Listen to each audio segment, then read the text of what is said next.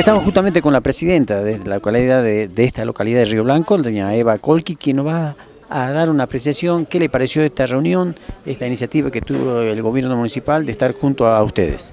Bueno, este, según esta reunión nos ha dejado bastante entusiasmado y con, eh, con esperanza del crecimiento de Río Blanco, especialmente, eh, sobre todo en seguridad de, en seguridad vial, ¿no? que hemos planteado el problema de, de, la inseguridad que tenemos con respecto al tránsito y a los peatones.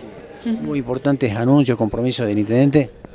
Y sí, bueno, él quedó en, en, en trabajar más conjuntamente con, con, los centros vecinales, especialmente con el de acá de Río Blanco, y, y también pide también la colaboración de los vecinos, ¿no? que aporten también su, eh, sus ideas, su, eh, lo que les aqueja, y, bueno, para poder solucionar. Otra de las vecinas también de esta localidad estuvo presente, ¿qué nos puede decir al respecto?